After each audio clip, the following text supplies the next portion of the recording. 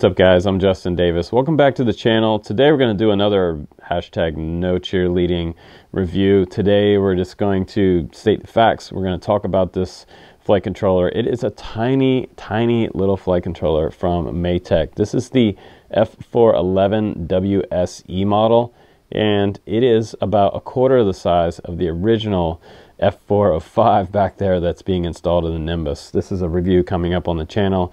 It is a beautiful large scale long range airplane. So uh, much bigger flight controller, way more powerful than this one, but the neat thing about this one is, is that we can stick this in much smaller airplanes, something like the ZOHD Orbit. This would have been beautiful to have when I was first putting a flight controller in that one. I had an original 30 by 30 stack in that, and all the wires took up almost the entire bay inside the ZOHD Orbit. You guys can go back and watch that video if you'd like. But now that we have the F411 WSE model, it is so much smaller and you can still hook up GPS to this guy. We can add Crossfire on here and we can really send this flight controller. It also has iNav options on here for adding multiple types of GPS, regular GPS, GLONASS, whatever you want. I'm going to show you in this video how you can wire up your GPS to this. Some of you guys might have never seen it before, but we're going to show you how that's um, going down on this board. It's actually pretty simple. So let's go ahead and do a quick overview and run around of the new Matek F411 WSE Wing SE. Super tiny 20 by 20 stack for any type of fixed wing airplane that you want GPS on. Here we go. Okay guys, let's just go ahead and jump right into this. I love it. This is where FPV gets me really excited um, because uh, my preferred choice for aircraft is actually fixed wing. Uh, I'm originally an airplane guy from way back when I was a kid, so this is really exciting stuff for me. This is a total geek out session. Um, the the F411 WSE it is limited compared to the much larger F405 um, models. If you want to run up to like six servos, um, you, you can on those. You can much, run much more servos, and you can also do iNav radar, which we're not really going to talk about today because that's a much more advanced topic. But um, the F411 WSE is for someone who wants to add anywhere from a 2 to 6S battery on board their aircraft. You can also run two motors with this flight controller. You can run up to four servos. So you're going to be limited on your amount of servos, but um, four, four servos is pretty much um, a, a, very standard set of servos. And if you're going to run anything more than four, then you obviously want a bigger flight controller anyway. Uh, it's probably going to likely be a much bigger plane. Um, your delta wings and, and your regular FPV wings, they're only running two servos. Um, so you, don't really need anything more than four servos. Um, so th that's what this, this little flight controller is for. It's for smaller applications. Now what's also cool is that, um, like I said, it does support multiple different GPSs. You can run the BN880, you can run the super small little M8.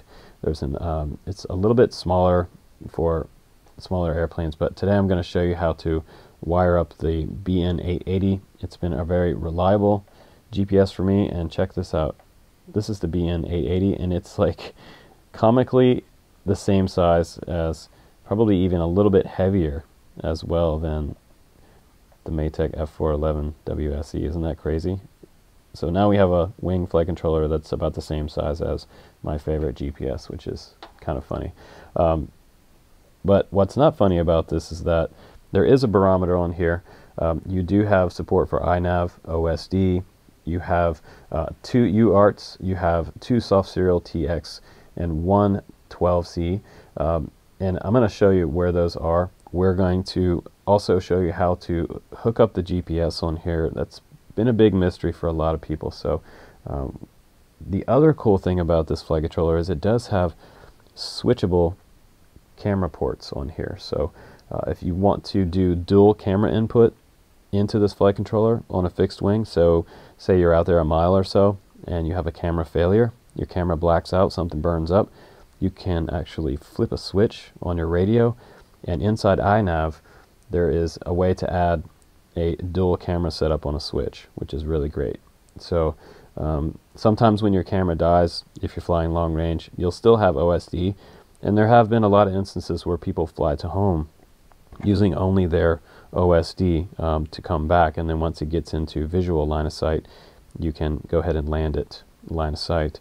But um, that is uh, kind of a scary situation. But hopefully that doesn't happen to you. But the cool thing is also that it does have 6 to 30 volt DC input, um, 2 to 6S LiPo. So we've got four servos, two motor support, and up to a 6S LiPo. So technically you could put this in a much larger aircraft, but eh, I don't really recommend it. So let's go ahead now, let's take a little closer look at the bottom level PDB, and then we'll take a look at the top level, and I'll explain some things to you in very simple terms. Now we're going to be looking at the lower level first, and this is the PDB. So this is where all of your power inputs come into. You also have some alternate power spots down here, uh, and we're going to talk about how these signal wires hook up and what each ones are for. Uh, we have an alternate 5 volt ground here just to start out. Um, up top here we have our ESC pads and these are your signal S1 and S2. This is for the signal wire coming off your ESC. So um, this would be signal 1 for the first ESC and signal 2 for the second ESC. That's usually a white wire. Uh, we also have two positive pads right next to each other and we have two negative pads right here. So uh, very simply, the ESC power wire is going to hook up to these pads. You also have an alternate ground over here as well if you need it. Um, sometimes I just snip off the ground wire off the ESC. A lot of times I don't even use it. So over here we have the positive pad for your battery terminal. That's going to be where your XT60 or XT30 comes off of, the wires here going off to power the model. And this is the harness for your signals coming up to the flight controller on the very top right here. Um, and this is cool because it just plugs in and powers the board. You don't have to have any type of wire going up to power that top level which is kind of nice. But we have a variety of pads here um, for adding uh, extra servos here. So um, the first two are going to be for your motor. S1, S2 is for your motors, and then it jumps up to S3 here, and these are where your servo signals come into. Um, so we have the S3 here, S4, we have VX, top and bottom here, that's your voltage, we have ground. So this would be one bar here across, one bar here, five and six here. So those servo wires can hook up here. You can direct solder them or you can put pins through these and you can just plug your servo lead straight into right here. So that's how you're going to hook this up to a fixed wing. Um, you don't have to snip off that connector. A lot of times I like to put pins on here because I like to be able to hot swap things and that's what I'm going to recommend that you do. Just plug in your servo pin harness right there. Uh, makes it super easy if you have to replace something.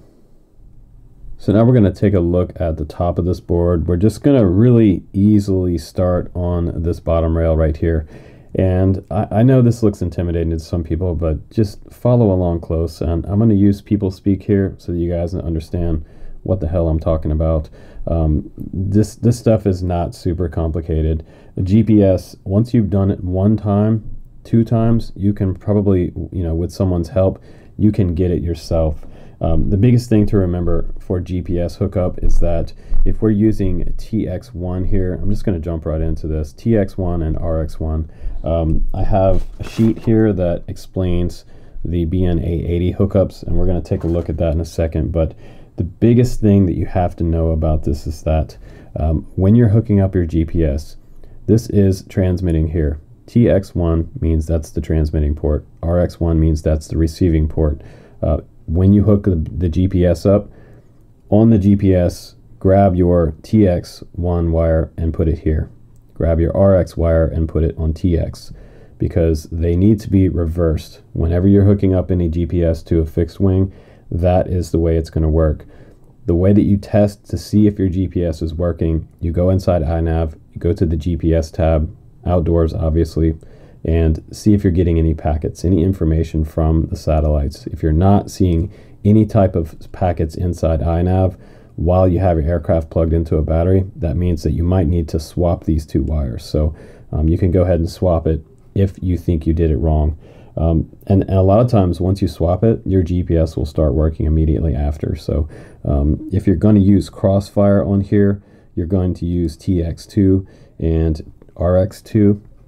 That will be the next ones uh, over underneath here. So TX2 and RX2 for Crossfire.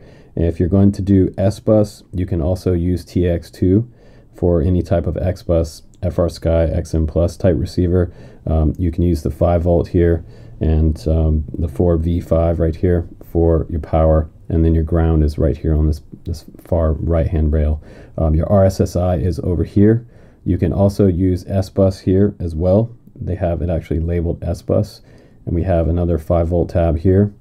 We have ground here, ground here, and again, uh, 3 volt down on the very far left. 3 volt is for the Spektrum receivers. You can also add a Spektrum receiver, so it's cool. It does support uh, F-port support and inverted uh, S-port S-bus pad as well if you need inversion. So um, pretty much everything here, even PPM, it will also do PPM. Um, but if you're using PPM, you want to share the RX2 pad and disable the serial RX pad on UART2. Um, so yeah, but most of us don't even worry about that. You're not going to be using PPM, most likely. Uh, also, if you're using the Crossfire receiver, don't enable any of the functions on the soft serial number two. But getting back to the GPS, let me go ahead and zoom out right here. Once you have reversed your TX and RX wires coming from your GPS, you have the SCL and the SDA, and then you also have the power hookups for your GPS. So I'm just going to grab this GPS here. I'm going to zoom out a little bit further for you. And if we're looking at this GPS like this, we've got our guide here. And all you have to do is really just get the schematic here uh, off of the Banggood website. And it shows you the layout of these wires coming out. So SDA is this yellow wire, ground is black, the white one is TX, the green one is going to be RX, the red one is always the power wire, the VCC is your power, and the SCL is this gray wire right here. And those are just going to simply solder straight to the board. You're going to clip both of these off and follow your schematic and solder it straight up. And once you have your RX and TX reversed coming from here, all the rest of them just hook up to the actual labeled ports. Very simple. So now I have spun this around so you can see this bottom rail right here and we're going to talk about these rails. Um, we have ground all the way across the bottom here and we have an ST1 wire down here.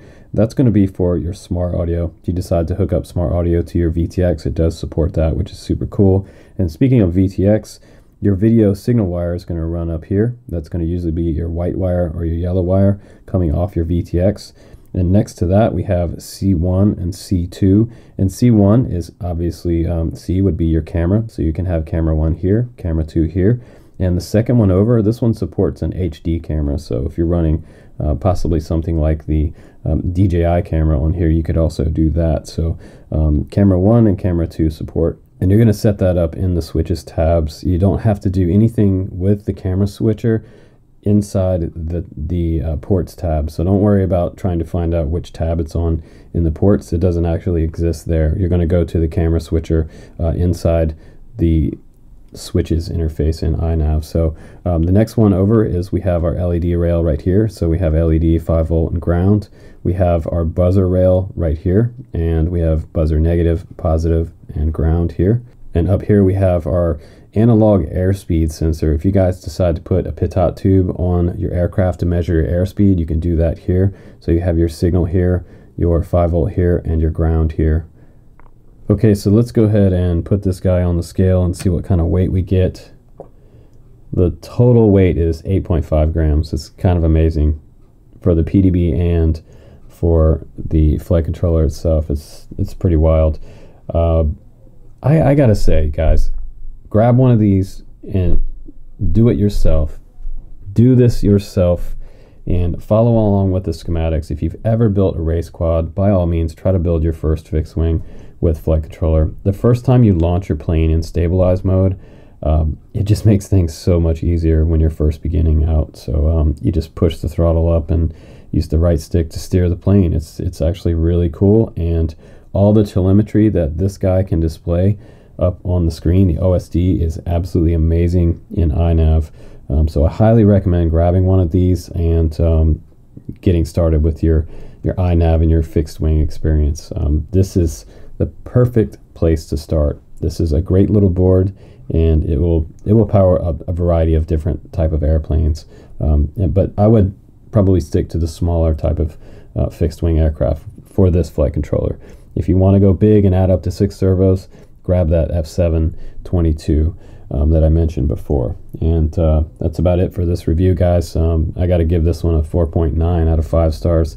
Um, and it's a, it's a pretty high rating, but it's also a lot of work from Matek. So I think it's a pretty awesome, awesome little board. And this is going to be my go to board now for all of my smaller aircraft.